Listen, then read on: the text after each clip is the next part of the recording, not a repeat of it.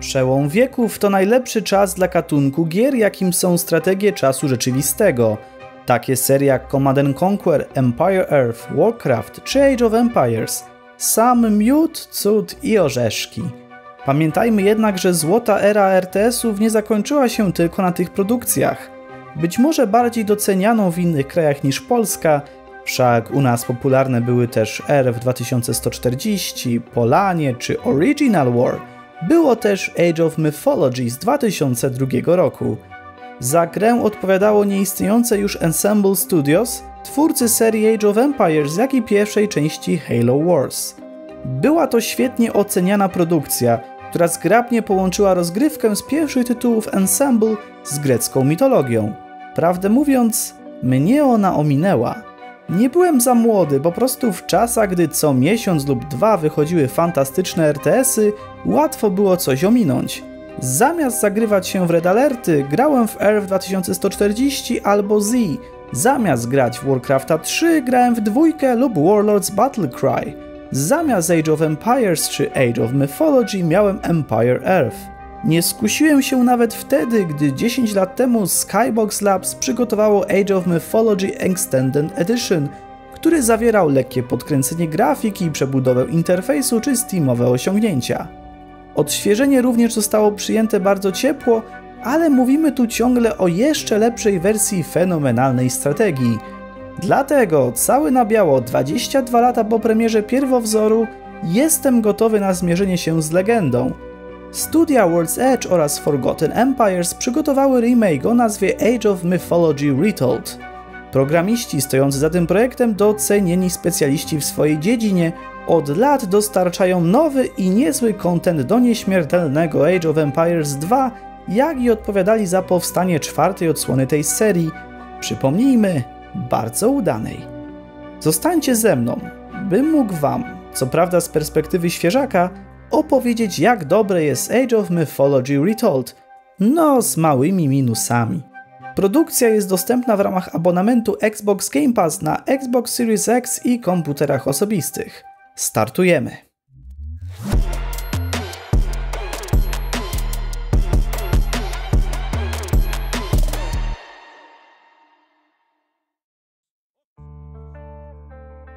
Age of Mythology Retold jest remakiem podstawowej wersji gry zawierającej długą kampanię na ponad 30 misji, w której wcielaliśmy się w Greków, Egipcjan i Skandynawów oraz w dodatku The Titans, który dodawał nową kampanię dla kolejnej rasy Atlantydy.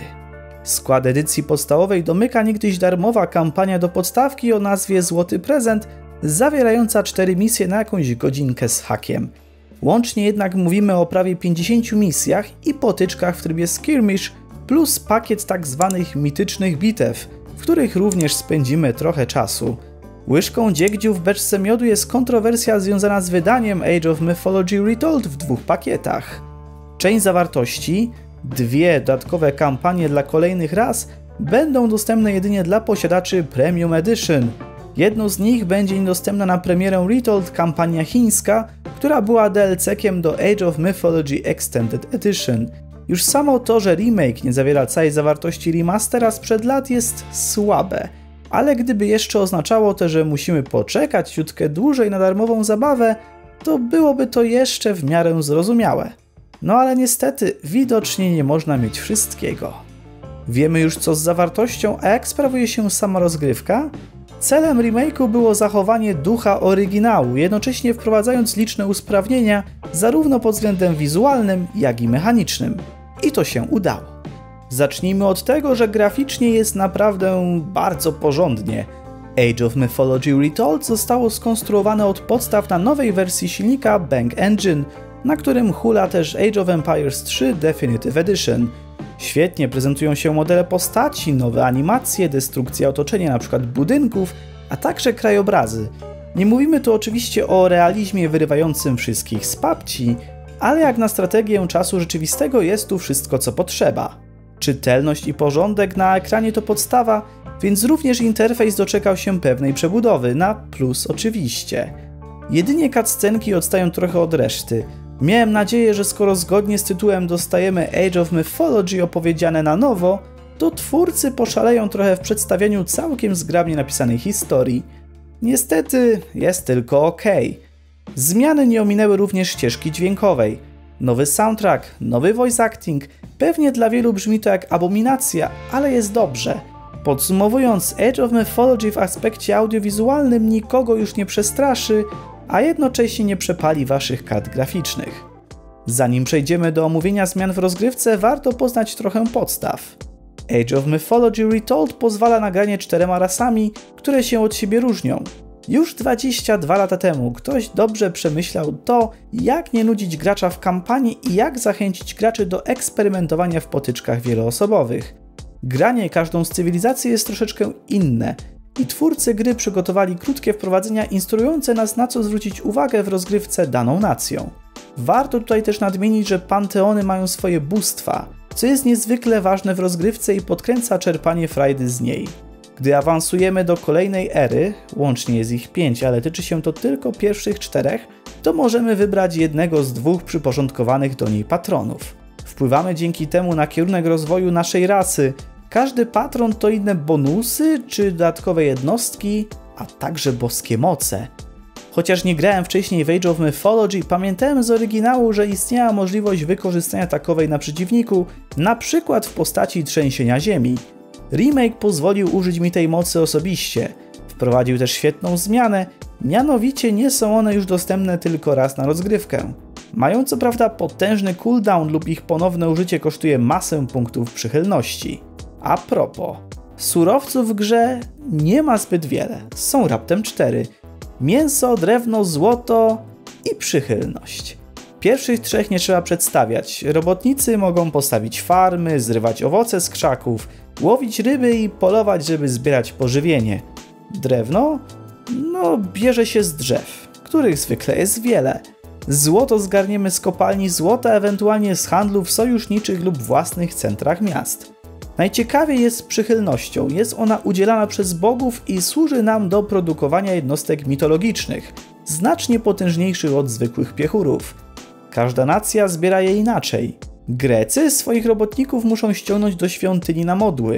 Egipcjanie budują pomniki bogów i tu akurat trzeba przyznać, że gdyby Polacy byli nacją w Age of Mythology, taki rodzaj zbierania przychylności mógłby zostać. Skandynawowie muszą walczyć i polować, chyba że tworzymy specjalne jednostki, które za sam fakt istnienia nabijają nam przychylność. Atlantydzi z kolei muszą rozmieszać wyrocznie na mapie. To oczywiście nie koniec różnic. Kampanię zaczynamy jak Arkantosz, admirał Atlantydy pomagający Grekom, którzy walczą w Troi. Grecy są najbardziej standardową nacją. Robotnicy mogą budować wszystkie budynki w przeciwieństwie do Skandynawów, gdyż u nich zwykły robotnik zbuduje jedynie dom, a za resztę odpowiadają już wojownicy. Skandynawowie są zresztą nastawieni na ofensywę, w przeciwieństwie do Egipcjan, którzy akurat wiele z budynków budują za darmo, ale powoli. No, skądś to chyba znamy. Spokojnie. Ja budowałem szubienicę. No, a Atlantydzi są sprytni i mogą budować podzie podniebne przejścia i zaskakiwać wrogów z końca mapy.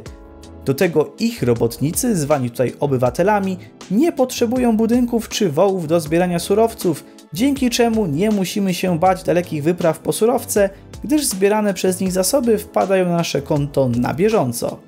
Z zarządzaniem zasobami wiąże się również kolejna zmiana względem pierwowzoru. W Retold możemy poustawiać automatycznie proporcje pomiędzy zbieranymi surowcami. Nie musimy już dbać o to, żeby przerzucać za każdym razem jednostki ze ścina drzew na kopanie złota, gdy akurat nam tego brakuje. Odpowiednio ustawiony sufak proporcji przydzieli automatycznie liczbę robotników do danego surowca. Pomimo dużych różnic pomiędzy rasami sporą ilością bóstw, to próg wejścia do Age of Mythology Retold jest stosunkowo niski. Nie chodzi mi o poziom trudności, bo na średnim już jakieś wyzwanie jest, nie mówiąc o najtrudniejszym. Ale nie mogłem się nadziwić, jak wiele jest tu w Retold przemyślane. Ciekawe misje, nie na jedno kopyto i niektóre nawet długie. Wybrane zmiany w rozgrywce, no każda z nich na plus i pomagająca nie tylko nowicjuszom. W przypadku zarządzania zbieraniem surowców ułatwi ona życie wszystkim grającym w Age of Mythology na Xboxie.